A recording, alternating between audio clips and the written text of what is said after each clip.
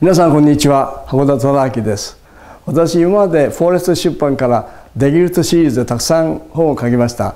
もしかしたら皆さんもデギルトの話し方とかデギルトの人間関係の作り方お読みになったと思います。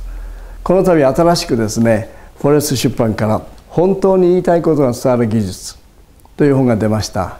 皆さん自分の人生考えた時に一つの事実気づいてますか？それはあなたの人生は全部他人が決めてるんです。あなたの給料誰が決めてますか？あなたの仕事経理やるか営業やるか他人が決めてます。結婚相手だって自分で決められないんです。美智子さん結婚してください。あなたが嫌です。これで終わりです。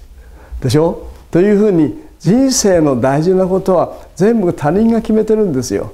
ですから自分を主張する交渉する自己表現する。すっごく大事なんです。ところがなかなか言えないんですよね。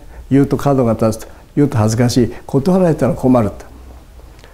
気が弱くて言えないと。いう時はですね大声出してしまうと。で完璧に人間関係壊れてしまう。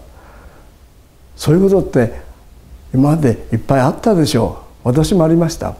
ね。そうではなくてもっと穏やかに相手の立場を考えてそして良い結論を出すと。自分の主張を通す。そして相手の意見も通してあげる。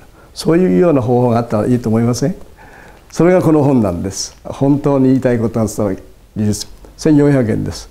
これぜひ読んでください。あなたの人生は必ず変わります。いい方へ変わりますからね。ぜひ読んでください。よろしくお願いします。